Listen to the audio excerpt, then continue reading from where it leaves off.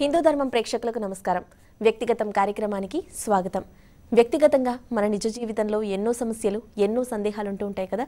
అలాంటి వ్యక్తిగత సమస్యలకు చక్కని పరిష్కార మార్గం తెలియచేయడానికి ప్రస్తుతం మనతో ఉన్నారు గురువు గారు ప్రముఖ జ్యోతిష్య వినూత్న శిరోమణి డాక్టర్ జంధ్యాల శాస్త్రి గారు. వారితో మాట్లాడి మనం మరిన్ని విషయాలు తెలుసుకుందాం. మీరు కూడా గురువు గారితో మాట్లాడే అవకాశాన్ని పొందాలి అంటే స్క్రీన్ పైన డిస్ప్లే అవుతున్న మా నెంబర్స్కి కాల్ చేసినట్టయితే గురువు గారితో మాట్లాడే అవకాశాన్ని మీరు కూడా పొందొచ్చు. అలాగే ఈరోజు మనం ఆదివారం కాబట్టి గృహవాస్తుకు సంబంధించిన విషయాలను మనం మాట్లాడుకుంటున్నాము. సో మీకు గృహవాస్తుకు సంబంధించిన ఎలాంటి సందేహాలున్నా కూడా స్క్రీన్ మీద ఉన్న మా నెంబర్స్కి మీరు కాల్ చేయొచ్చు. అలాగే మీ యొక్క ధర్మ సందేహాలన్నింటినీ కూడా చూసుకున్నట్టయితే eight three six seven zero seven zero seven zero four మా వాట్సాప్ నెంబర్కి పంపించినట్టయితే మీ పేరు మీ ఊరు పేరు అలాగే మీ యొక్క ధర్మ సందేహం మాకు పంపించినట్టయితే మీ యొక్క ధర్మ సందేహాన్ని మేము తీసుకొని గురువుగారిని మీ ధర్మ సందేహం అడుగుతాము. గురువుగారు మీ యొక్క ధర్మ సందేహాన్ని నివృత్తి చేయడంతో పాటు రోజు ఒక ధర్మ సందేహాన్ని ఎంపిక చేసి వారి యొక్క ఆశీర్వచనం లాగానే ఒక శుభతిలకాన్ని కూడా మన ఈ ధర్మ సందేహాన్ని ఎంపిక చేసిన వారికి ఒక చక్కటి ధర్మ సందేహం అడిగిన వారికి ఇవ్వడం జరుగుతోంది. ఇక ముఖ్యంగా గనక చూసుకున్నట్టయితే గురువు గారు సోమ మంగళ బుధవారాల్లో ఇక్కడే హైదరాబాద్లో ఉంటారు. హైదరాబాద్ పరిసర ప్రాంతాల వారు గురువారిని కలవాలనుకున్న వారు ఇక్కడ స్క్రీన్ మీద డిస్ప్లే అవుతున్న వ్యక్తిగత నెంబర్స్కి కాల్ చేసి గురువుగారు అపాయింట్మెంట్ తీసుకోవచ్చు. మరియు గురువారం విషయానికి వచ్చినట్టయితే నెల్లూరులో ఉంటారు. ఇక శుక్రవారం మూడు శుక్రవారాలు గనక చూసుకున్నట్టయితే విజయవాడలో అందుబాటులో ఉంటాడు. ఇక ఇంకో శుక్రవారం నాలుగో శుక్రవారం గనక చూసుకున్నట్టయితే విశాఖపట్నంలో గురువు గారు విశాఖపట్నానికి కూడా రానున్నారు. సో విశాఖపట్నం పరిసర ప్రాంతాల వారు కావచ్చు విజయవాడ పరిసర ప్రాంతాల వారు కావచ్చు స్క్రీన్ మీద డిస్ప్లే అవుతున్న వ్యక్తిగత నెంబర్స్కి మీరు కాల్ చేసినట్టయితే గురుగారి పర్సనల్ అపాయింట్మెంట్ కూడా మీరు తీసుకోవచ్చు. ఇక శని ఆదివారాల విషయానికి వచ్చినట్టయితే గురుగారు నర్సింగుల్ క్షేత్రం నందు అక్కడే ఉంటారు కాబట్టి మీరు వ్యక్తిగత నెంబర్స్కి కాల్ చేసి గురుగారు అపాయింట్మెంట్ తీసుకోవచ్చు. అలాగే కనుక చూసుకున్నట్టయితే ఒక మహత్తర కార్యక్రమాన్ని గురువుగారి బ్రహ్మత్వంన వారు నిర్వహించిన నిర్వహించనున్నారు ఫిబ్రవరి ఎనిమిదవ తారీఖు నుంచి ఇరవై ఒకటవ తారీఖు వరకు కనుక చూసుకున్నట్టయితే మహాశివరాత్రి పర్వదినం రోజు కనుక చూసుకున్నట్టయితే ఆ గౌరీ కళ్యాణంతో పాటు లింగోద్భవ కాలం నందు లక్ష సార్లు మంత్రజపం మరియు లక్ష సార్లు హోమం లక్ష సార్లు తిలార్చన లక్ష సార్లు తైలాభిషేకం కూడా ప్రత్యేక లింగరూప శనీశ్వర స్వామి వారికి అభిషేకం కూడా చేయనున్నారు. సో మీరు కూడా ఈ కార్యక్రమంలో పాలు పంచుకోవాలి అనుకున్న వారు స్క్రీన్ మీద డిస్ప్లే అవుతున్న మా నెంబర్స్కి కాల్ చేసి మీ గోత్రనామాలు రిజిస్టర్ చేసుకోవచ్చు. అలాగే గురువుగారితో మాట్లాడాలి అనుకున్న వారు కూడా స్క్రీన్ మీద డిస్ప్లే అవుతున్న వ్యక్తిగత నెంబర్స్కి కాల్ చేసి వారిని సంప్రదించవచ్చు నమస్కారం గురుగారు. మా నమస్కారం. ప్రముఖంగా ఈరోజు మన వ్యక్తిగతాన్ని వీక్షిస్తున్నటువంటి మా యొక్క సర్వ భక్తులకి విద్యార్థిని విద్యార్థులకి అందులో పెద్దలు గురువులు ఆరాధ్యులు మహోన్నతమైనటువంటి సర్వులకు కూడాను మనసావాచ కర్మన పెద్దవారందరికీ కూడాను మనస్ఫూర్తిగా కూడా నమస్కరిస్తూ పిల్లలకు ఆయుష్మాన్ భవాన్ తెలియజేస్తూ ఆదివారం గృహవాస్తుని గురించి మనం మాట్లాడుతూ పోబోతున్నాం. గృహం ఎలా ఉండాలి? గృహంలో ఉన్నటువంటి విధానాలు ఏంటి ఆ గృహ విషయాల్లో ఎలాంటి మంచి కార్యక్రమాలని నిర్వహిస్తూ ఉండాలి. ఎలా ప్రదేశాన్ని ఉంచుకోవాలి? అసలు భూ ఆకర్షణకి మానవులకు ఉన్నటువంటి విధి విధానాలు ఏంటి? ఇవన్నిటినీ కూడా మనం అటు తొమ్మిది నవగ్రహ దేవతలకి గృహ వాస్తుకి మానవ జీవనశైలికి ఎటువంటి సంబంధాలు ఉన్నాయనే దాని మీద నేను మీకు విశ్లేషణ చేసుకోవడానికి ప్రతి ఆదివారం కూడా సంపూర్ణంగా చెప్పలేకపోయినా రెండు ముక్కలు చెప్పుకుంటూ వెళ్తున్నాం. ఎందుకంటే మనకున్న కాలగమనం తర్వాత తక్కిన విశేషాల మీద చెప్పాల్సిన అవసరాలు ఉన్నాయి కాబట్టి వీటన్నిటికీ కూడా నేను మీకు వివరిస్తాను. అందుకని మా భక్తులందరికీ కూడా ఒకటే మనం చేస్తున్నా. ఐదు టు ఆరు అనేది ప్రతిరోజు డాక్టర్ దంజాల గారి కార్యక్రమాలు సోమమంగళ బుధవారాలు లైవ్ వస్తే గురువారం విద్యార్థుల గురించి శుక్రవారం స్త్రీమూర్తుల గురించి శనివారం పన్నెండు రాసుల గురించి ఆదివారం గృహవాసం గురించి ప్రత్యేక విశేషాలు ఆయన చెప్పేటువంటి విధానాలు ఏంటని వినేదానికి సిద్ధంగా ఉంటారు కాబట్టి మీరు చూస్తూనే ఉండాలి నేను చెప్తూనే ఉండాలి ఈ కాలం జరిగిపోతూనే ఉంటుంది. అప్పుడు సంపూర్ణ విషయాలు మీకు తెలుస్తూనే ఉంటాయని నేను మనసావాచ్య కర్మను నమ్ముతూ అలాగే ముందు అన్నిటికన్నా ముందు ఎప్పుడు నేను చెప్పినట్టుగా కూడా నవసూత్రాలని పాటించడానికి ప్రయత్నించాలి ముందు. ఎందువలంటే ఈ కాలగమనంలో మానవులు ఆశాజీవి. దీన్ని మీకు తెలుసు నాకు తెలుసు దీంట్లో రెండో ఆప్షన్ ఏం లేదు. ఇది కొత్తగా నేను చెప్పేది ఏం లేదు మీకు తెలియని విషయం ఏం కాదు. ఆశ అనేది ప్రమాదం అని నేను ఎప్పుడు చెబుతున్నాను. ఆశయం కోసం పోరాటం అనేది నేర్చుకోవాలనేది నా సంకల్పం. ఇది నా వ్యక్తిగత అభిప్రాయం కూడా తీసుకోండి మీరు. మీరు ఏమైనా అనుకోండి.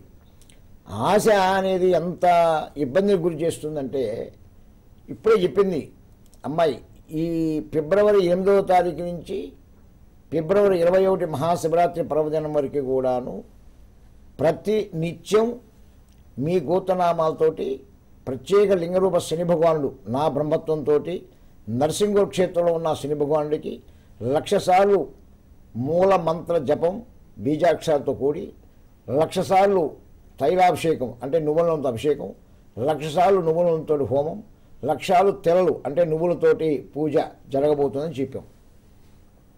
దాంట్లో మీ పేర్లు అవి గోత్రాలు పంపించండి. ఆ విషయాలని కింద నెంబర్లు ఇచ్చాం. దానికి రెండు వేల రూపాయలని ఒక ఆ యొక్క కార్యక్రమానికి మీ సహకారం దానికి అవసరం కనుక మిమ్మల్ని విషయం అంతా చెప్పాం. బాగానే ఉంది ఇంతవరకు. అంటే ఈ మాట ఎందుకు చెప్పానంటే ఆశకి ఆశయానికి డిఫరెన్స్ ఏందని చెప్తున్నాను మీకు. నేను ఒక ఆశయం కోసం పెట్టాను అది. ఏ ఆశయం కోసం పెట్టాను అని అంటే ఒకటి ఆ యొక్క స్వామివారు సంపూర్ణంగా చేయాలని సంకల్పం ఒకటి. రెండోది దాని వలన సర్వ మానవ జీవన సరళకి సరైనటువంటి విధానం కల్పించాలనేది రెండో సంకల్పం. మూడోది పది మంది ఋత్విక్కులకి ఒక ఆధారం అవుతుంది. అవును. బాగా అర్థం చేసుకుని పది మంది బ్రాహ్మణోత్వం చేయాలి కదా వాళ్ళు. గురువుకి ఒక దారి చూపించిన వాడు అవుతాం అవును. నాలుగోది ఇప్పుడు ధనుసు రాశి నుంచి మకర రాశికి శని భగవాను గ్రహ మార్పిడి అని చెప్తున్నారు. అందువల్ల పన్నెండు రాసుల వారికి కూడా శనీశ్వరుడు అనుగ్రహం కావాలని దానికోసం చేయడం ఒకటి. లింగ రూపంలో శని భగవానికి చేయడం అనేది ఎందుకు పెట్టుకున్నానంటే ఉభయ రాష్ట్ర ఏకైక లింగ రూపంలో ఉన్నాడు కనుక అది పెట్టాను. తర్వాత నర్సింగోలో ఉన్న దానికే చేయండి మీరు ఎక్కడున్న శనీశ్వరుడు కాకుండా అక్కడే చేయాలి ఎందుకనంటే ఆ నర్సింగోడు శనీశ్వరుడన్నా నర్సింగోలన్నా అనురాధ నక్షత్రం శనీశ్వరుడు యొక్క నక్షత్రం కలిగిన ఊరు కనుక అక్కడ ఉన్నాడు కనుక ఆయనకి శక్తి ఉంటుంది కనుక అక్కడ రండి అని చెప్పాను. అవును. ఇవన్నీ కూడాను కార్యక్రమాలు నిర్వహించి డిసైడ్ చేసి ఆల్రెడీ మీ ముందు పెట్టేశాను నేను. ఒక ఆశయంతో పెట్టేశాను. ఎంతమంది రెండు వేలు పంపిస్తారని నేను లెక్క వేసుకుని కూర్చుంటే నా ఆశ అవుతుంది. మీరు పంపిస్తారా పంపిస్తారా అనేది పక్కన పెడదాం. అంతే. విన్నవాళ్ళు నా మీద అభిమానం ఉన్నవాళ్ళు భక్తుల దేవుడి మీద అభిమానం ఉన్నవాళ్ళు ఆ గ్రహ దేవతల యొక్క అనుగ్రహం పొందాలి శనీశ్వరుడు అనుగ్రహం కావాలి అనుకునే వాళ్ళు పంపిస్తారు అది పంపించారు అది వేరే విషయం అది. అదే. ఆశయం ఏంటి? చేయాలని. ఆశ అనేది ఏంది? ఎంతమంది వస్తారనేది ముందు ఎవరిని నేను డొనేషన్లు అడిగి కానీ ఇంకోని పెట్టి కానీ నేను పెట్టలేదే. ఆల్రెడీ ఒక డిసైడ్ చేసి పెట్టేశాను అంటే నా ఉద్దేశం ఏంటి? లక్ష్యం ఏంటి? ఖచ్చితంగా కూడాను భక్తులు అనే వాళ్ళందరికీ కూడాను ఈ మంచి కార్యం అనేది వాళ్ళకి జరగాలి జరిగితే వాళ్ళకి సుఖ సౌఖ్య భోగ భాగ్య ఐశ్వర్యాలు వాళ్ళకి జరగాలనేది ఒక ఆశయంతో ఒక కార్యక్రమం నిర్వహించడానికి ప్రయత్నించాను అందులో ఎంతమంది పాల్గొంటారు ఇంతమంది పాల్గొనాలి అనుకుంటే ముందు టికెట్ పెట్టుకొని అందరినీ అయిపోయిన తర్వాత నేను కార్యక్రమాన్ని బిగిన్ చేయాలి. అంతే కదా? ముందు కావాల్సినటువంటి మార్కెటింగ్ అంటారు దాన్ని. మనం మీ భాషలో అదే కదా? అట్నే మార్కెటింగ్ చేసుకొని ఆ స్పాన్సర్ జిక్కారు అంతా రెడీ అయిపోయారు. ఆ కాబట్టి పలానా డేట్ పెడతాను అనాలి అట్లా పెట్టలా నేను. పుష్యమి నక్షత్రం శనివారం ఎనిమిదో తారీఖు మూడు కూడాను శని భగవాను సంబంధించింది కనుక సంబంధించింది కనుక గ్రహ మార్పిడి అనేది జరుగుతుంది కనుక శివరాత్రి అనుకోకుండా ఇరవై ఒకటో తారీఖే వచ్చింది కనుక. శివరాత్రి అంటేనే శివుడికి అక్కడ రామలింగేశ్వరుడు ఉన్నాడు కనుక పక్కనే ఉన్న లింగ రూపంలో శని భగవాన్ ఇవన్నీ కూడాను తేడి గురించి కూడా గౌరీ కళ్యాణం ఇటు లింగోద్భోగాల అభిషేకం అటు శని భగవానుడికి ఆ, లక్ష సార్లు తైలాభిషేకం లక్ష సార్లు మూల జపం ఇవన్నీ కలిపి ఒక ఆశయంతో ప్లాన్ చేసి డిసైడ్ చేసి డిక్లేర్ చేసేసి. అవును. ఎంతమంది దానికి అవుతారు? దాదాపు ఐదు ఆరు లక్షలు ఖర్చు అవుతుంది. రెండు వేల లెక్కన ఎంతమంది పంపించాలి నాకు? కనీసం మూడు నాలుగు వందల మంది పంపిస్తే కానీ నేను గిటానే బయటపడను. నాలుగు వందల మంది పేర్లు వస్తాయని ఎక్స్పెక్ట్ చేస్తుందా నేను నా ధర్మానికి జరుగుతుందా నాకు తెలుసు ఎంతమంది వస్తారు ఎంతమంది రారని నాకు ఐడియా లేదా? కానీ ఆశయం చేశాం. అంటే ఒక ఆశయం కోసమే పెట్టిన తర్వాత ఆ క్షణానికి ఏదో మహానుభావుడు వచ్చి దానికి అన్నదానానికి అందిస్తాడు. ఇంకా దేం కావాలన్నా అది ఇస్తాడు ఆయనే చూస్తాడు దాని మీద అనేది ఒక విశ్వాసం ఒక ఆశయం. ఈ రెండే మీ దగ్గర పెట్టుకోమని చెప్తాను నేను.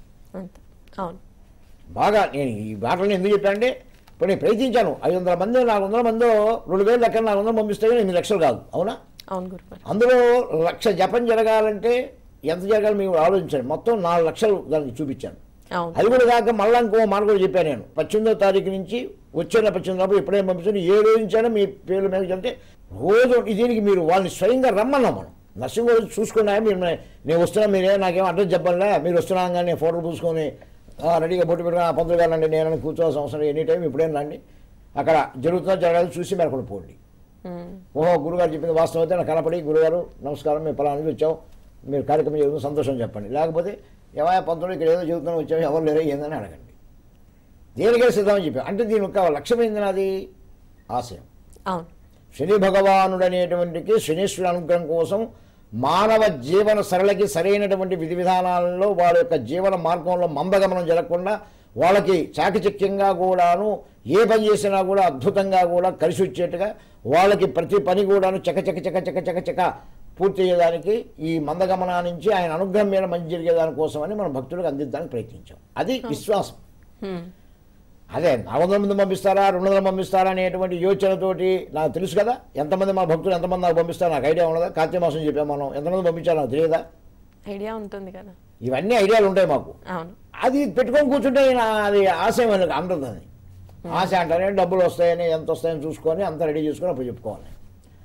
ఇప్పుడు నేను మొహమాటం లేకుండా ఈ క్షణం వరకు కూడాను నేను ఎవరికి కూడాను ఇది చేయనని ఎవరిని అనను. ఓన్లీ రెండు వేల రూపాయలు పంపించండి. మీకు చేత అయితే అన్నదానానికి ఆ చేత అయితే బా- నువ్వులు నువ్వుల నూనె కూడా పంపించండి. ఒంగోలు అడ్రస్ పంపించండి. మీకు ఏ నెంబర్ అని చెప్పాం కానీ మనం ఎవరిని ఏమి ఎవరిని అడగను కూడా. ఇంపాసిబుల్ విషయం. అది ఎట్లా జరుగుతున్నాయంటే జరుగుతుంది అదే విశ్వాసం.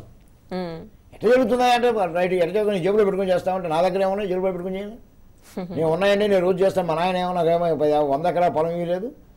మా నాన్నగారు నాకు ఇచ్చింది మంచి విషయాలు చెప్పారు రెండు మాటలు చెప్పారు. కక్కిన కూడికి ఆశపడవాకరా కక్కిన కూడికి ఆశపడవాకు అంటే ఎవరికైనా ఇచ్చిన దానికోసం మళ్ళీ రావాలని ఆలోచించవాలి ఆలోచించు మాట చెప్పేటప్పుడు అవుతుంది అవుతే అవుతుందని చెప్పు కాదు అవుతే నా వల్ల కాదని దండం పెట్టు. నీకు ఎంతవరకు అంతవరకు నీ కాలు ముడుచుకుని నీ మంచం ఉన్న అది ఒక సామెతలాగా చెప్తాను అన్నమాట. మంచం ఉన్నవరకు కాలు ముడుచుకోవాలని. ఆ పద్ధతిలో నడుచుకోవాలని మా నాన్న చెప్పి పదిహేను వందలు అప్పు ఇచ్చి చనిపోయాడు మా నాన్నగారు. ఆయన ఆశీర్వేద బలమని ఇంత దూరం పెరిగా నేను. అలాంటప్పుడు ఏమవుతుంది మాకు? అది రాలేదనే ఆశ మాకు ఉండదు. అయితే రాకుండా ఏమనంటే ఏముంది నా దగ్గర? డబ్బులు ఖర్చు పెట్టి ఐదు లక్షలు ఏమొచ్చి పెట్టాలంటే నాలుగు చేతిలో ఉంటుందా? ఉండదు. కార్యక్రమం పెట్టుకున్న తర్వాత నా మూడు లక్షలు నాలుగు లక్షలు తీసుకొచ్చి పెడతానికి ఏ పురోహితుడైనా ఏ అర్చకుడైనా చేస్తాడా? వాస్తవాలు మాట్లాడుతున్నాను నేను. జరగవు ఇవన్నీ. అవును. కానీ విశ్వాసం నేను విశ్వాన్ని గెలిపిస్తుంది. వస్తాడు. ఆ సమయానికి ఆయన ఎవరోహోని దాని వచ్చి చేయమని చెప్పేస్తాడు. భక్తుడికే మనసులోకి ఎక్కించి రేయ్ వాడు మంచి ఆశయం పెట్టుకుని కార్యక్రమం చేస్తున్నాడు ఆ కార్యక్రమం చేస్తున్నాడు ఇబ్బంది పడేట పరిస్థితి వస్తున్నది వాడికి. పోయి నువ్వు అన్నదానానికి ఒక యాభై గంటలు బీ ఇచ్చినా పో అని అనిపిస్తాడు వాడు వస్తాడు గురుగారు ఏదో కార్యక్రమం చేస్తున్నారట ఏదో నా సహకారం ఏమైనా కావాలని అది నా అనుభవంతో చెప్తున్న మాటలు ఇవన్నీ నేను ఇప్పుడు ఎన్నో కార్యక్రమాలు నరసింహవరం క్షేత్రంలో జరగని కార్యక్రమాలు ఉండదు. శివరాత్రి జరుగుతుంది కార్తీక మాసం జరుగుతుంది నవరాత్రులు జరుగుతుంది ముక్కోడు జరుగుతుంది. ఇదేళ్ళ అదేళ్ళ అన్ని కార్యక్రమాలు జరుగుతాయి. నిత్యం నాగశిర ప్రతిష్టలు ఉంటాయి. ప్రతి నిత్యంలో ఒక ప్రతిరోజు ఆ దేవాలయంలోనే మినిమం యాభై నాలుగు దీపాలు వెలుగుతూ ఉంటాయి. ఇది కూడా వచ్చి లెక్కేసుకోవచ్చు. అసలు ఇదేందా? యాభై నాలుగు దీపాలు ఎక్కడ పెడతాడు ఈ గుళ్ళారంలో? మీరు చూసి చూడడం తెలుస్తుంది. మీకు ఉదయం రావాలి. ఉదయం ఎనిమిది గంటలకు వస్తే అన్నీ ఉంటాయి దీపాలు. తర్వాత అంటే పెట్టిన తర్వాత ఆగిపోతాయి కదా. నవగ్రహాలు పోతేమి శని భగవాన్ దగ్గర పోతేమి రాహుకేతుల దగ్గర పోతేమి కుజంగార సుబ్రహ్మణ్యం అవుతేమి శివాలలో పోతేమి అమ్మవారి దగ్గర పోతేమి ఎక్కడెక్కడెక్కడ ఏమి ఉన్నాయో మొత్తం లెక్కేసుకోండి. అంత నూనె ఎక్కడి నుంచి వస్తుంది నాకు? నేను కొన్నానా? భక్తులే ఇస్తారు. ఇక్కడ నేను ఇక్కడ కూడా నేను పెడుతున్నాననే మాట నా నోట్లో నుంచి రాదు. ఎందుకు? నేను పెట్టలేదు కదా. నాకు ఎందుకు చెప్పాలని నేను పెడుతున్నాను ఇంకా దాంట్లో నుంచి బియ్యం ఉప్పు మిరకాయలు చింతపండు తీసుకుని నేనే తింటున్నా మళ్ళీ. మళ్ళీ దాంట్లో అబద్ధాలు ఎందుకు? కాబట్టి ఇది వాస్తవాన్ని అందుకు విశ్వాసంగా. అందుకే నవసూత్రాల్లో ఏం చెప్పాను నేను? ముందు శని భగవానుడు కలియుగేశ్వరుడు కనుక ఆయన అనుగ్రహం మీకు కావాల్సిన అవసరం ఎంతైనా ఉంది దాన్ని ఆ శనేశ్వరుడి కోసమే నేను పోరాడుతున్నాను నేను చేసుకోమని చెప్పేవాడు రెండోది గ్రహస్థితిని తెలుసుకోవడానికి ప్రయత్నించండి గ్రహం మూలం సర్వం జగత్ అని రెండోది చెప్పా. మూడోది ఇప్పుడే చెప్పా విశ్వాసం ఏంది ఆశయం ఏంది ఈ రెండు ప్రాక్టికల్గా మీకు చూపించాను. వీటన్నిటికన్నా మీరు పూజలు చేస్తారా? శని భగవానికి ఆరాధిస్తారా? లేకపోతే రెండు వేలు పంపిస్తారా? పంపించారా? అది మీ ఇష్టం మీకు నమస్కారం. దాని గురించి మీ అభిమానం మీ మీ యొక్క భక్తి విశ్వాసం అది నా మీద మీకున్నటువంటి సంపూర్ణ విశ్వాసంతో చేసే పని. ఇవన్నీ చేసి చెప్పాను తల్లిదండ్రులు సేవించడం మాత్రం మర్చిపోకుండా మీ చేతిలో పని. అంతే. రూపాయి ఖర్చు లేని పని. మీరు అమెరికాలో ఉండండి. మాతృదేవోభవ పితృదేవ అని ఆకారాన్ని మనసులో తెచ్చుకోండి. ఆ కాళ్ళు ఉత్తపండి మీరు రోజు. అంతే. అలాగే అత్తామామలు గౌరవించండి అన్నదమ్ములు అక్క చెల్లు కలిసిమెలిసి ప్రేమతత్వం ఉండండి. ఇది ప్రతిరోజు చెప్తుంది ఎందుకో తెలుసా? మానవుడికి మూలం లేకుండా ఏదేదో కొత్త కొత్త చట్టాలు కొత్త కొత్త సంస్కరణలు కొత్త రకాలైనటువంటి ల్యాండ్ ఆర్డర్ తీసుకుని వచ్చిందో మొత్తం మనసులో మార్పు వస్తుంది అనుకునేది భ్రమతో కూడిన పని. మనిషికి మనిషే మార్పు రావాలి. మనిషిలోనే ఒక చైతన్యం రావాలి. ఆ చైతన్యం కోసమే ఈ పోరాటం అంతా చేస్తున్నాం మేము. ఉండాల్సినవన్నీ ఉన్నాయి. ప్రభుత్వాలు ఉంటాయి వాటికి కావాల్సిన విధి విధానాలు ఉంటాయి వాళ్ళు కొన్ని నియమ నిబంధనలు అనుసరించి పోతుంటారు. ఎన్నో రకాలైనటువంటి వాళ్ళు కొన్ని కొన్ని రూల్స్ అండ్ రెగ్యులేషన్స్ అన్ని పెడుతుంటారు. ఎన్ని ఉన్నా మనిషి చైతన్యం రాకుండా ఎంతవరకు వాళ్ళు పాటుపడతారండి. మా వాళ్ళు అందుకే చెప్తాను బలవంతంగా తొట్టిదాకా తీసుకున్నా కానీ నీళ్ళు తాపించడం మన వాళ్ళు. అట్లనే ఎప్పటి ఎవరికి వాళ్ళ చైతన్యం వద్దాని కోసం చిరు ప్రయత్నం మనం మన విశ్వాసంగా మనం చేస్తున్నాం. అది మీరు గ్రహించి ఎంతవరకు చేస్తారో చూడండి మీకే తెలుస్తుంది. ఆ తర్వాత ఏం చెప్పాం? గురువుకు నమస్కరించండి వృక్షాలను పెంచండి. ఇవే నవసూత్రాలు ఇవి పాటించడం చాలు. ఇవి పాటిస్తూ ఇప్పుడే చెప్పినట్టుగా ఆ ఇరవై ఒకటో తారీఖు జరిగే ఆ గౌరీ కళ్యాణానికి మీరు అందరినీ ఆహ్వానిస్తున్నాం. సాయంత్రం ఐదు గంటలకు రండి. రాత్రి భోజనాలు ఉంటాయి. మీరు రెండు వేలు కట్టినా కట్టకపోయిన వాళ్ళు వచ్చినా కూడా మీకు కట్టిన వాళ్ళ వరకే లోపల రానిస్తామండి కట్టిన వాళ్ళని రానివ్వనిది ఏం లేదు. ఆ రోజు దైవ దర్శనానికి కానీ అభిషేకానికి కానీ కళ్యాణానికి కానీ ఎటువంటి టికెట్ ఉండదు. ఒక రూపాయి కూడా ఆశించమని మన పర్వదినం రోజు పరమేశ్వరుడు యొక్క అనుగ్రహం సంపూర్ణంగా సర్వ భక్తులుగా ఉండాలనేదే నా లక్ష్యం. ఇది నా లక్ష్యం. ఇది నా ఆశయం. ఇప్పుడు శివరాత్రి రోజు సహజంగా టికెట్లు పెడతాం. అంతే కదా అభిషేకానికి వందనం వెయ్యి ఏదో క్షేత్రాన్ని బట్టి ఉంటుంది. అక్కడ ఏ నోట్ అసలు ఆ సమస్య లే. నువ్వు ఏదో ఇష్టమై ఆ పూజారిగా అభిషేకం చేసి సిద్ధం ఇచ్చి పైన నీకు ఆ నీళ్ళు చెల్లి చెడగొప్ప నీకు ఇష్టమైతే పది రూపాయలు వేస్తే వేయి లేకపోతే మీకు ఊరకపో నేను అసలు ఎందుకు వేయలేదని ఆయన అడగడు. అక్కడ రూల్స్ అండ్ రెగ్యులేషన్స్. డబ్బు ఇస్తేనే డా- పూజ చేస్తాం డబ్బు ఇవ్వకపోతే పూజ ఇవన్నీ ఉండవు. ఎవరు వచ్చినా కూడా హారతి ఇవ్వాల్సిందే ఎవరు వచ్చినా చెడగొప్ప వాళ్ళు వేస్తారు వేయడం అనేది వాళ్ళకి అనవసరం విషయాలు అనమాట ఉమ్, అసలు అభిషేకానికి లింగోద్భోకాల అభిషేకం అనేది ఎంతమంది తెలుసు? ఆలోచించినా ఎంతమంది పోయి దేవాలయంలో పన్నెండు గంటల ఒక నిమిషాలు చేయడానికి పాల్గొంటారు? పాల్గొంటే ఎంత ఖర్చు అవుతుందో మీరు ఆలోచించుకోండి. ఉచితంగా చేస్తున్నారంటే ఆలోచించండి. ఈ రెండు వేల రూపాయలు కట్టినటువంటి భక్తులకి ఏ రోజు పంపిస్తారో ఆలోచించి ఆ మరుసటి నుంచి వరుసగా చెప్పుకుంటూ ఇరవై ఒకటి వరకు ఉంటుంది. అయితే ఇచ్చిన పద్దెనిమిది లోపలే పంపించడం మళ్ళీ పంతొమ్మిది ఇరవై పంపించినా కూడా లిస్ట్ అవుట్ చేసుకోవాలి కాస్త ఇబ్బంది వస్తుంది మాకు కూడా. అవన్నీ స్వామివారి దగ్గర తీసుకుపోవాలండి. కాబట్టి ఇవన్నింటినీ మీరు చేస్తారని నేను మనస్ఫూర్తిగా కూడా ఆశిస్తూ ఇప్పుడే అమ్మాయి చెప్పింది సోమ మంగళ బుధవారాలు హైదరాబాద్లో ఉంటే గురువారం రోజు నెల్లూరులో ఉంటే శుక్రవారము అంటే ఇరవై మూడో తారీఖు శుక్రవారం అవుతుంది. బహుశా ఈరోజు చెప్తున్నాను కాబట్టి ఇరవై మూడో శుక్రవారం కూడా నేను విజయవాడకు వస్తున్నాను. అది హోటల్ మమత.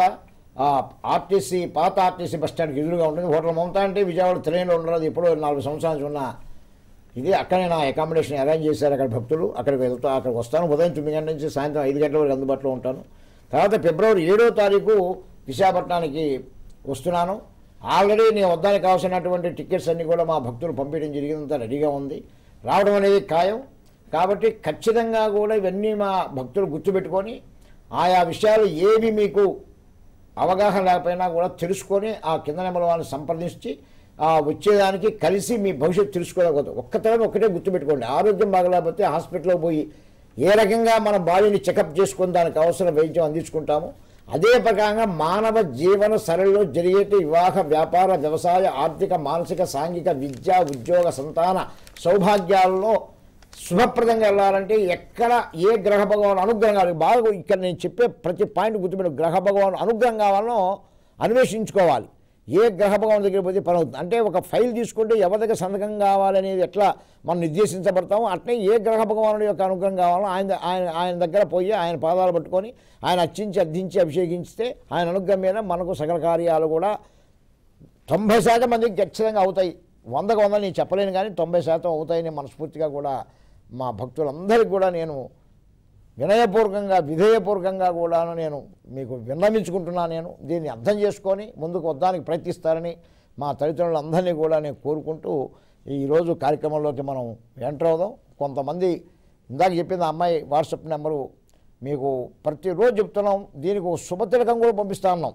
స్వామివారిని అభిషేకం చేసిన శుభతిలకం అది పెట్టుకుంటే ఎంత ఆకర్షణీయంగా ఉంటుందో అది అయిన తర్వాత మాకు మీరే ఫోన్ చేసి చెప్పచ్చు తప్పేం లేదు. అది ఏ చెప్పినా డాక్టర్ జంజాల ప్రాక్టికల్గా ఉండమంటా నేను. ప్రాక్టికల్ ఏదైనా వాస్తవ రూపంలోకి మాట్లాడదాం మనం. నేను ఎందుకు రమ్మంటున్నా నేను?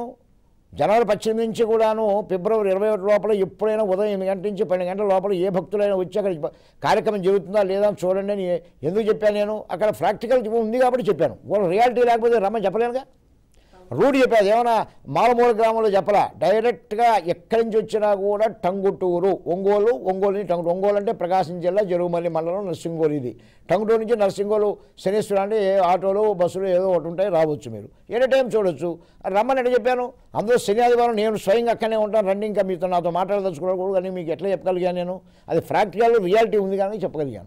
అట్నే మనం రియాలిటీగా ప్రాక్టికల్గా ముందుకు వెళ్దాం ఆ పోయేదాని కోసమని మనం ప్రతిదాన్ని కూడా చేద్దాం. మనం చేసేటువంటి అద్భుతమైన పనులు కూడా సంపూర్ణమైనటువంటి కార్యక్రమాలు ఎన్నో ఉన్నాయి.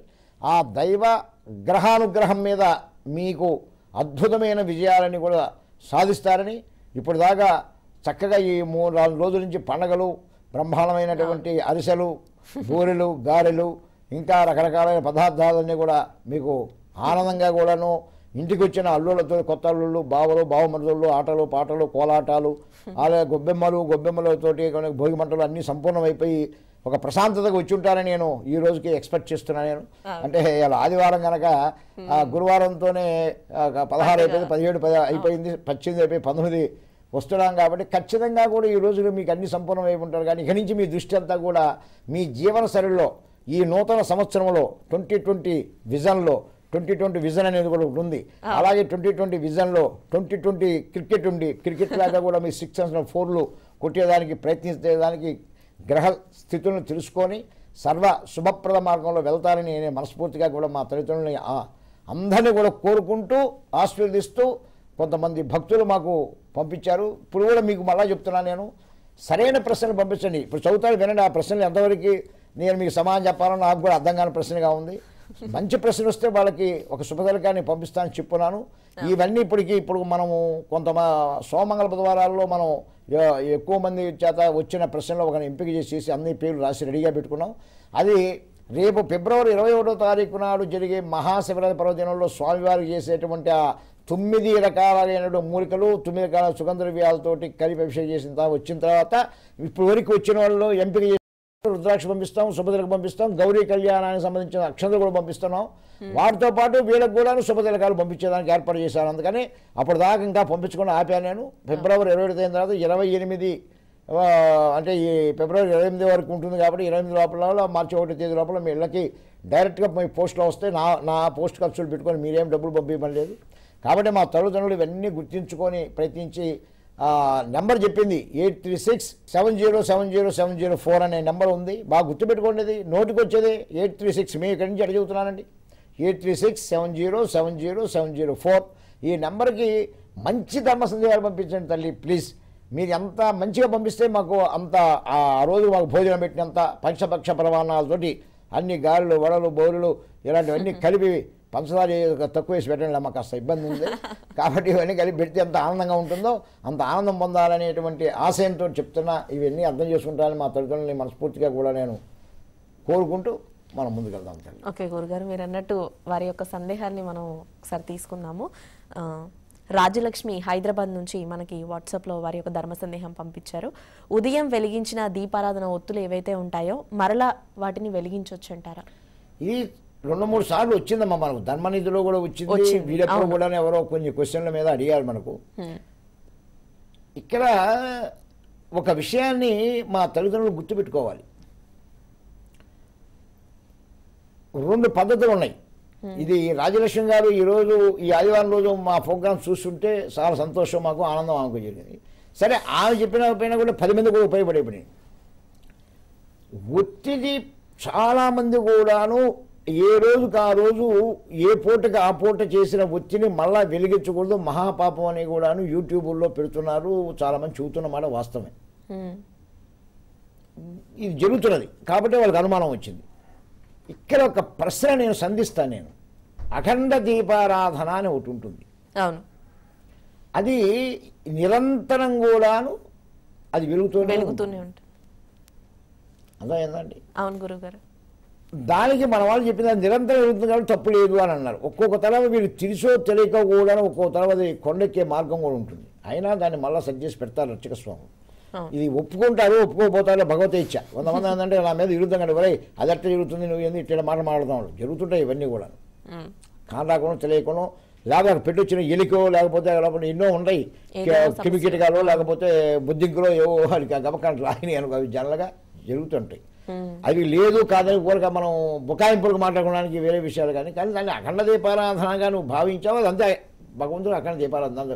ఒకవేళ అది పొరపాటుగా అది ఏదో నువ్వు కావాలని ఏం చేయడు. ఏ అచ్యుస్వామి చేయడు అవి అదే. అది ఓ బొద్దుకోండి దాని మీద టెని టెని అనుకోండి ఆటోమేటిక్గా అది ఆగిపోదానికి కారణాలు వస్తాయి. దానివల్ల ముట్టించడానికి అవకాశం ఉంది, తప్పు కాదు. అయితే నిత్య దీపారాధన చేసేటప్పుడు ఒత్తులు అనేది ఇంత ఒత్తులు అవి. ఉమ్, సోం గాలిపోయి ఉంటాయి అసలుగా దాన్ని మళ్ళా దాన్ని ఒత్తి వేయాల్సిన అవసరం ఏముంటుంది దాంట్లో ఒత్తులు ఖర్చుని వేయకుండా అవుదామా లేకపోతే మళ్ళీ అది ముట్టించాలంటే నూనె దానికి కనెక్ట్ అవ్వాలి కదా? కాబట్టి ధర్మం ఎట్లా చెప్పినా కూడాను దాన్ని తీసివేసి కొత్త వేసే దాంట్లో ఎక్కడ కూడా లోపం ఉందని నేను అనుకోవటంలే. ఒకవేళ కాదయా అది సంగతి అటు ఉండొచ్చు కొత్త వేస్తామో పాత వేసుకుంటాం మేము తర్వాత చేసుకుంటాం. అసలు ముట్టించచ్చా అని అంటే దీపారాధనకి దైవం ముందు పెట్టిన దీపారాధన కొండెక్కిన తర్వాత మళ్ళా దాని పునర్నిర్మాణం చేసుకోవాలన్నప్పుడు ఆ ఒత్తితో వెలిగించడం వల్ల ఎటువంటి పాపం వస్తుందనేది మర్చిపోండి. ఖచ్చితంగా వెలిగించుకోవచ్చు తప్పులేదు. కాకపోతే ఒత్తిని బట్టి ఉంటుంది. అది పొడుగొత్తి వేసుకొని ఉండి ఉంటే పర్వాలా? ఇంత ఒత్తి ఉంటే అది నూనెకి అందనప్పుడే దీపారాధన అసలు కొండెక్కాల్సిన అవసరం ఎందుకు వస్తుంది? నూనె అయిపోయి ఉండాలి. ఒత్తికి అది నూనె అందకుండా అయినా ఉండాలి. ఈ రెండిట్లో అది దీపారాధన ఎందుకు ఆగిపోతుంది అది తెలుసుకోవాలి ముందు. అందుకే నేను ఎప్పుడు చెబుతున్నా కూడాను చుట్టూ ఐదు దీపారాధన పెట్టడం పనులు చేయవాకండి. అది ఆత్మ పరమాత్మ. ఈ రెండింటిని కలిపి చేసేదే ఒక ఒత్తి ఈ రెండింటిని కలిపి రెండు ఒత్తులు కలిపి ఒక ఒత్తుగా మార్చి ఎక్కువ నూనె పోసి ఎక్కువసేపు అది ఆ కాంతివంతంగా ఉండేదానికి ప్రయత్నించండి అని వంద సార్లు చెప్పాను అప్పుడు ఒత్తి అయిపోతుంది ఆటోమేటిక్గా. ఆ నూనె ఒత్తి సరిపోయేట్టుగా కొన్ని అప్పుడు మాకు ఈ ఎప్పుడైనా మేము ఈ షాపుల దగ్గర పెట్టి చదువుతుంటారు ఇప్పుడు మరీ కూడా నూనె ఇంత బట్టలనేటువంటివి తయారు చేస్తున్నారు. అవును గురువు ఏది? ఈ కుందులు కూడా అవును. ఇక దాంట్లో నూనె పోసేది ఎందుకు? ఒత్తులు ముట్టి ఒత్తి వేయగానే నూనె పోసిన పదిహేను నిమిషాలు కారిపోయా అవును. ఈ ఒత్తి తీసేయమంటా ఉంటామంటే ఎట్ట కుదురుతుంది? సంపూర్ణంగా ఒత్తి అనేది వాస్తవంగా సంపూర్ణ నూనె పోసి వచ్చినప్పుడు అంత తేలిగ్గా ఒత్తి ఆరిపోవడం అనేది జరగదు.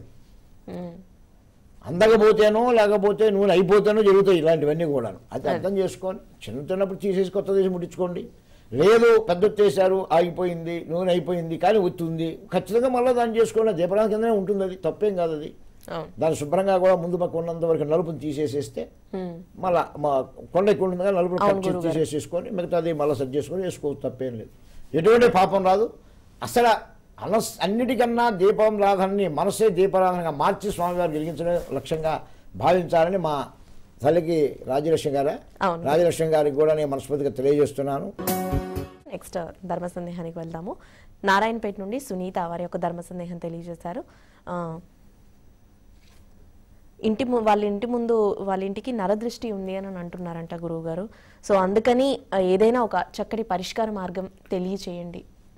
సునీత గారు నరదిష్టి ఉన్న మాట అనేది నూట యాభై శాతం కరెక్ట్. దాన్ని ఎవరు కూడా తప్పు పట్టాల్సింది. ఎందువల్ల నరదిష్టి ఏంటంటే ఐస్ పవర్ అనేది చాలా గొప్పది. ఇది సైంటిఫిక్ రీజన్లో కూడా గొప్పదే. నేను శాస్త్రం ప్రకారమే కాదు సైన్స్ని కూడా నేను మీరు ఆలోచించండి. కొన్ని కళ్ళు చాలా అందంగా ఉన్నాయంటారు. అమ్మాయి కళ్ళు చూడు ఎంత అందంగా ఉన్నాయంటారు. అబ్బాయి కళ్ళు చూడు ఎంత ఉన్నాయి. ముచ్చటగా చక్రాల లాంటి కళ్ళు అంటారు. ఇవన్నీ మనం అనుకునే మాటలేదు అవును. ఒక కళ్ళు చూసి ఎంతో ముద్దుగా ఆ, ఒకరినొకరు ఇది చేసుకునేటువంటి స్థితి ఉంటుంది. ఒక కళ్ళు చూస్తే ఎర్ర వాళ్ళు చూడంగానే ఇదేంద్ర స్వామి ఏం పైన పడతాడు ఏంద్ర అని అంట భయకంపితులయ్యేట్టుగా నేత్రాలు గుడ్లు కనపడుతుంటాయి. అలాగనే మనకు ఎప్పటి నుంచో మనం చూడండి మీరు నేత్ర దృష్టితోనే సకల చరాచరాలను కూడా గ్రహించే శక్తి ఉంటుందని నేత్రాలకి అంత గొప్ప శక్తి ఉంది. అట్నే కూడాను మనకు ఇప్పాటిజం చేసే వాళ్ళు కూడాను అందరికీ కళ్ళు అందరూ చేయలేరు ఇప్పాటిజం. వాళ్ళ వల్లే అవుతుంది ఆ కళ్ళే ఉండాలి దానికి. ఇలాగ కళ్ళకి అనే దగ్గరికి వచ్చేళ్ళకి వాస్తవంగా దానికి ఒక అందుకని మన పూర్వ రోజుల్లో కూడాను నరులు కళ్ళకి నాపరాయ బొగులుతుంది అనేటువంటి ఒక సామెత ఉంది మనకు. నరులు. కళ్ళకి నాపరాయ బొగులుతుంది. అంటే ఏమిటా గురుగారు మీరు మాట్లాడినప్పుడల్లా ఏదో సామెత వచ్చి పెడతారని పొద్దు నుంచి సామెతలో వచ్చాం మేమంతా. నేను మాట్లాడినప్పుడల్లా ఏదో సామెత చెబుతుంటా నీకు అవును. ఈ గురుగారు ఎందుకు వస్తాది ఏంటంటే ఇది మేమన్నీ ఆ సామెతలు అన్నీ నేర్చుకుని వచ్చిన వాళ్ళే కాబట్టి మాట్లాడుతున్నాం. నరుడు కళ్ళకి నాపరాయి. తగులుతుందని అనేది ఒక సమస్య కొంతమంది మనం ఫోన్ చేసేప్పుడు వాళ్ళు కనుక అట్నే చూశారనుకోండి అది నీకు వికటించేటువంటి స్థితి కూడా వస్తుంది. అంటే వైబ్రేషన్ పవర్ అంట అది. కళ్ళల్లో కళ్ళకి ఒక వైబ్రేషన్ ఉంటుంది అన్నమాట అవును. నేను తీక్షణంగా నేను ఎదురు చూసినానంటే మంత్రంతో ఏదో నేను మాట చేస్తాను అందుకనే మనకు ఒక కథ ఉంది. ఒక ఋషి సాధువు ఒక చెట్టు కింద కూర్చొని చేసుకొని వాడు ఏదో పైకి లేసే సమయంలో పైన పెట్టుంటే రెట్టేస్తుంది. రెట్టేసాడు వీడు దాన్ని తీక్షణ చూసి కాలి మడి చచ్చిపోతుంది అన్నమాట ఉమ్, అయిపోయిందో భిక్షాటనకు వచ్చి ఒక మహాప్రతిపతిగా ఇంటికి వచ్చి కూర్చొని వాడు పిలిస్తే ఎంతసేపుడికి రాకుండా పదిహేను నిమిషాల తర్వాత వస్తుంది. ఏదో భర్త సేవలో ఉంటుంది. ఆ వచ్చిన తర్వాత ఆమెను తీక్షణ చూస్తే నా అన్నమాట నేనేమైనా కాకిని కాదు నువ్వు చూస్తే నేను మారిపోవడానికి పిచ్చి పనులు చేసుకోబాకు తపశ్శక్తిని మంచిగా ఉపయోగించుకోవాలని చెప్పింది. అది కూడా కళ్ళతోనే దాని యొక్క ప్రభావం చూపించాలని కూడా మనకు చెప్తున్నారు. అట్లాగే నరదిష్టి ఉన్నమాట వాస్తవమే. దాన్ని మనం తప్పుపడాల్సిన అవసరం లేదు. దానికి రెండు పద్ధతుల్ని మీరు ఆచరించండి. ఇటువంటి అన్నిటికీ కోస కోసమనే మనము చక్కగా కూడాను ఇంట్లో ఉన్న ఆవాలు రెండు మిరపకాయలు ఒక నిమ్మకాయ గుచ్చి ఎర్రటి మూటలో ఈ ఆవాలు కట్టి దానికి నిమ్మకాయ ఈ యొక్క మిరపకాయని గుచ్చేసి ఇంటి ముందు కనుక కట్టుకుంటే ఆ నరదిష్టి చాలా వరకు కూడాను వర్కౌట్ అవుతుంది. ఇది ఒక పద్ధతి ఇలా నరదిష్టి నరఘోష ఇంకా ఏదైనా ఇంట్లో గృహంలో ఇబ్బందులు దానికి ఇప్పుడు మనం నా ఆధ్వర్యంలో శీఘ్ర మహాయంత్రం అనేది ఒకటి ఏర్పాటు చేసి ఉన్నాం. ఆ శీఘ్ర మహాయంత్రంతో పాటు ఇప్పుడు నేను చెప్పినటువంటి ఈ ఫిబ్రవరి ఎనిమిదో తారీఖు ఇరవై ఏడో తారీఖు జరిగేటువంటి ఆ శనేశ్వరునికి లక్షసార్లు జపము లక్షాలు అభిషేకం లక్షాలు హోమం లక్షాలు తెలపూజతో సంబంధించి రా గనక మీరు పూర్తి వివరం కనుక కింద నెమల నెంబర్లను సంప్రదిస్తే ఆ శీఘ్ర మహాయంత్రం కూడా దీంతో కలిపి మీ పేరును చేసి పూజ చేసి పంపిస్తారు. ఎటువంటి నరదిష్టి కానీ నరఘోష కానీ వాస్తుదోషాలు కానీ గృహంలో వ్యాపార అభివృద్ధి లేకుండా కానీ అన్నిటికీ కూడా మూలమైనది శీఘ్ర మహాయంత్రం. అది రెండో ఆప్షన్. అది ఖర్చులో కూడిన పని నేను ఇందాక చెప్పింది ఖర్చు లేని పని. నీకు సునీత గారు మీకు ఏది ఇంట్రెస్ట్ అవుతే దాని మీద వెళ్ళడం అనేది మంచిది. ఈ రెండు చేయండి జరుగుతుంది. అదృష్టి లేదు అనడానికి అవకాశం లేదు. ప్రతి ఇంటికి దాని యొక్క ప్రభావం అని కాదు ప్రతి మనిషి మీద దాని ప్రభావం ఉంటూనే ఉంటాయి. దానికి ఏం. చూడండి చాలా మంది కూడాను మనం కొంతమంది కొన్ని కొన్ని వాటి మీద కన్ను చూశారంటే అక్కడ కొంచెం కొంచెం ప్రాబ్లం అనేది వస్తుంది అనేది సైంటిఫిక్ రీజన్స్లో కూడా ఉన్నాయి. కొన్ని కళ్ళ మీద రీసెర్చ్ చేస్తే తెలుస్తుంది మీకు కూడా దాని మీద. Hmm. కనుక దయచేసి ఈ పని చేయండి సునీత గారు మీ మంచి జరగాలి శుభం. ఓకే గురుగారు నెక్స్ట్ ధర్మ సందేహానికి వెళ్దాము. వారి పేరు మనకి మెన్షన్ చేయలేదు. నిజామాబాద్ నుండి వారి యొక్క ధర్మ సందేహం వచ్చింది మనకి. వారి రెం ఆ, వారు పైన అంతస్తులో రెండో అంతస్తులో ఉండేవారు. ఒకరు చనిపోయారంట. అయితే వారు పూజ చేసుకోవడానికి ఆ పూజ సామాగ్రిని ఉపయోగించుకోవచ్చు అంటారా లేదంటే కొత్తవి తెచ్చి పూజ చేసుకోవాలంటారా? అంటే అవి పూజ సామాగ్రి వీరిచ్చారా? వాళ్ళు ఏమన్నా వీరికి ఇచ్చారా అనేది ఇంకా తెలియదు. ఇప్పుడు మొత్తం మీద సందేశం బాగానే పంపించింది కానీ పొరపాటుగా పేరు ఊరు చెప్పలే గబకరం బలవే మన పోయి ఎక్కడ అడిగితే ఇవాళ చూస్తుంది అనుకున్నారు ఏమో నాకు. నిజామాబాద్ నుండి చేస్తుంది. నిజామాబాద్ అంటే ఎక్కడైనా ఎత్తగలుగుతామా మనం? నిజామాబాద్ అంతా ఎతకలేం కదా. పేరు ఊరు అడ్రస్ ఇచ్చుంటే అమ్మ వెండి పోతే నాకు ఇతరు పోతే బదారు ఏమని చెప్తాను అట్ట కాకుండా మధ్యలో చెరికాసిన తీసుకోవచ్చు. వచ్చే వెండి మంచిదే కదా ఏదో మా గొలుసు పోసు ఏదో చేయించుకోవచ్చు. కానీ ఆ పేరు కూడా ఇవ్వలేదు కాబట్టి సరే పోనీ పోనీ ఎవరైనా కానీ మహాతల్లి వింటుంటే అదే మన సంతోషం.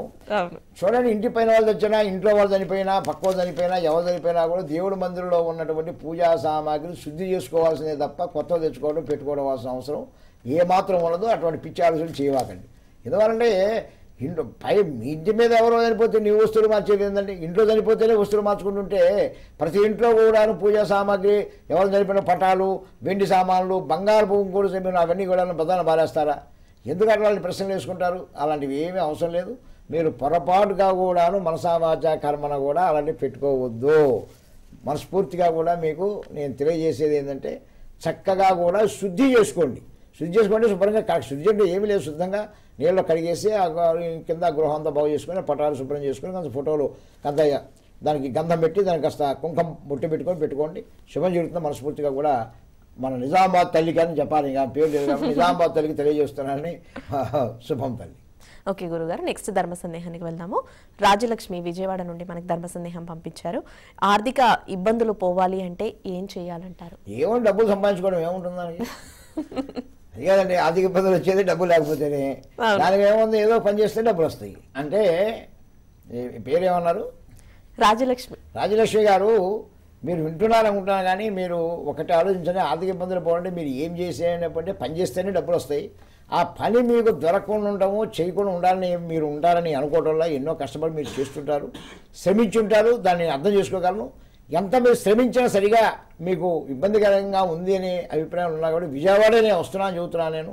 ఇరవై మూడో తారీఖున విజయవాడ నేను వస్తున్నాను నేను. ఈరోజు ఆదివారం మాట్లాడుతున్నాను కానీ శుక్రవారం ఉంటాను నేను. ఆ శుక్రవారంలో మమతా లాడ్జ్ గుర్తుపెట్టుకోండి. ఆ ఎదురుగానే అంటే పాత బస్ స్టాండ్ ఇంతకు ముందు ఉండి ఇప్పుడు కొత్తది కట్టారు. పాత బస్ స్టాండ్కి ఎదురుగానే మమతా లాడ్జ్ నలభై ఏళ్ళు నుంచి మీ అందరికీ తెలిసింది. కింద నెంబర్లు ఉన్నాయి మీ ఏదైనా అనుమానం వస్తే నెంబర్ నోట్ చేసుకొని రాజలక్ష్మి కలవండి. అసలు ముందు ఆర్థిక సమస్య అనేది మీ భర్త మీది జాతకాన్ని ఒకతాన్ని పరిశీలించిన తర్వాత ఏ గ్రహ భగవాను యొక్క అనుగ్రహం సరిగా ఉండాలా ఎక్కడ ఇబ్బంది కలుగుతుందనేది మీరు సూచించి దానికి సరైన మార్గం చెప్తాను. అప్పుడు కేవలం ఇప్పుడు ఆర్థికమా ఆర్థికమా విషయాలకి బాగలేవు గురుగారు ఏం చేయాలని చెప్తే ఇప్పుడు భారతదేశానికి కూడా ఆర్థిక మాంధవ్యం వచ్చిందని రోజు చూస్తున్నారు పేపర్లో టీవీలో. వాళ్ళకు ప్రయోగం చేస్తే మోదీ గారి కూడా షా గారు చేసుకున్నారు అనుకోండి ఆర్థిక మినిస్టర్ ఆయనను ప్రధానమంత్రి ఈయన కనుకోండి. అయిపోతే ఇప్పుడు ఆంధ్ర రాష్ట్రానికి కాదు ప్రతి దగ్గర కూడా ఆర్థిక మాంద్యం వచ్చిందని ఇబ్బంది పడుతున్నారు. వాళ్ళందరికీ కూడా నేను ఒక మాట చెప్తే వాళ్ళు చేసేసుకుంటే డబ్బులు రావట్లా కాబట్టి అది వ్యక్తిగతంగా మీరు చూపించుకోవాల్సిన అవసరం ఉంది. దయచేసి శుక్రవారంలో కలవండి. ఏ ఇబ్బంది నేను మీకు ఒక మంచి సొల్యూషన్ చెప్తాను నేను దాన్ని చేయండి. మీకు హండ్రెడ్ పర్సెంట్ కూడాను ఆ తొమ్మిది నవగ్రహ మీద మంచి జరగాలని మనస్ఫూర్తిగా మీ అందరికి కూడా నేను ఆస్వాదిస్తూ ఒక తరవ నేను సోమ మంగళ బుధవారంలో హైదరాబాద్లో ఉంటాను ఒక తరవ మీరు గుర్తుపెట్టుకోండి. అంటే గురువారం రోజు నెల్లూరులో ఉంటే శుక్రవారం రోజు విజయవాడ వస్తున్నాను. ఫిబ్రవరి ఏడో తారీఖు నాడు విశాఖపట్నం వస్తున్నాను. అలాగే ప్రతి శని ఆదివారం నరసింహ క్షేత్రంలో ఉంటున్నాను. ఈ రోజు నుంచి వచ్చే నెల ఇరవై ఒకటో తారీఖు మహాశివరాత్రి వరకు కూడాను మన భక్తుల గోతనామాతో నిత్యం జరిగేదానికి ఏర్పాటు చేస్తున్నాం. అందులో పుష్యమీ నక్షత్రం శనివారం ఎనిమిదో తారీఖు నుంచి మహాశివరాత్రి ఇరవై ఒకటో తారీఖు ప్రత్యేకంగా చేస్తున్నటువంటి మహత్తర కార్యక్రమైన లక్ష తిలార్చన అంటే నువ్వుల నూనె నువ్వులతోటి పూజ లక్ష తైలాభిషేకం అంటే నువ్వుల నూనెతో అభిషేకం లక్ష తైల హోమం అంటే నువ్వుల నూనెతో హోమం. అలాగే లక్ష సార్లు శని భగవాను యొక్క మూల మంత్ర జపం జరుగుతుంది అది మీ గోత్రనామాలు జరుగుతుంది. అప్పటి నుంచే కూడా కాదు ఇప్పటి నుంచే కూడాను మనం సంపూర్ణ నవగ్రహి జపం రావుకేతు లక్ష లక్ష జపం జరుగుతుంది. వీటన్నిటిలో మీ గోత్రనామాలు అలాగే మహాశివరత పర్వజన జరిగేటువంటి గౌరీ కళ్యాణంలో అలాగే ఆ లింగోద్భవ కాల అభిషేకంలో కూడా మీ గోత్రనామాలు వచ్చేదానికోండి దీనికి రెండు వేల రూపాయలు నిర్ణయించాం. ఈ వాస్తు యంత్రం ఈ శీఘ్ర మహాయంత్రం కావాలన్నా ఏ విషయాలకు కింద నెంబర్ సంపాదించండి. నేను ఉండే టైమింగ్స్ కానివ్వండి లేదు మీకు కావాల్సిన విషయాలు తెలుసుకోవడానికి ప్రయత్నిస్తానని మా భక్తులందరూ కూడా మళ్ళీ ఇంకొకసారి తెలియజేస్తున్నా. అప్పుడప్పుడు ఎందుకు తెలియజేస్తున్నా అంటే గుర్తుపెట్టుకుంటారని మీ సహకారంతోనే ఆ కార్యక్రమం జరగాలి. శివరాత్రి రోజు జరిగే అన్నదానానికి కానివ్వండి పూజా సామాగ్రికి కానివ్వండి లింగోద్భోగాల అభిషేకానికి కానివ్వండి గౌరీ కళ్యాణం కూడాను మీరు పంపించిన దాని మీద నాకు ఉపయోగపడుతుంది ఆ రోజు ఎటువంటి టికెట్ కానీ ఎవరిని డబ్బులు అడగడం కానీ పెట్టుకోవడం లేదు కనుక దీనింటికి మీ మనసులో పెట్టుకొని మీరు చేసుకొని మంచి శుభాన్ని పొందుతారని మనస్ఫూర్తిగా కూడా మీకు తెలియజేస్తూ ముందు గ్రహస్థితి తెలుసుకోవడానికి ప్రయత్నించండి. పిల్లల జీవిత గమ్యాన్ని తెలుసుకోవాలా? గృహస్థితి ఇలా ఆదివారం గృహాల గురించే మాట్లాడాలి. ఆ గ్రహస్థితే గృహస్థితిని మారుస్తుంది. గ్రహస్థితి సరి లేకపోతే గృహస్థితి మారదు. ఇంకో స్థితి ధనస్థితి మారదు దేహస్థితి మారదు. ఏ స్థితికైనా కూడా మూలం గ్రహస్థితి ఉంటుంది. ఆ గ్రహస్థితికుల్లో గృహస్థితికి కూడా సంబంధాలు ఉన్నాయి. చెప్తాను నేను ఒక్కోదానికి లైన్ చేసుకుని చెప్పుకున్నాం. ఇంకా కొంతమంది పేర్లు ఉన్నాయి. అయిపోయి సంపూర్ణం అయిపోయిన తర్వాత గ్రహస్థి గృహవాస్తులోకి వెళ్దాం. శుభం. ఓకే గురుగారు. లాస్ట్ ధర్మ సందేహం తీసుకుందాం. మనకి సమయం కూడా మించిపోతుంది. సత్యవతి విజయవాడ నుండి మనకి ధర్మ సందేహాన్ని పంపించారు. వారు ఉంటున్న ఎదు ఇల్లు ఎదురుగా మసీదు ఉందంట గురువుగారు సో అలా ఉండొచ్చు అంటారా మసీదుకి ఎదురుగా? అంటే ఇప్పుడు మసీద్ తీసేయమంటారా నన్ను? వాళ్ళంతా కూడా నా మీద కరెంట్ ఎత్తుకుని వస్తారు.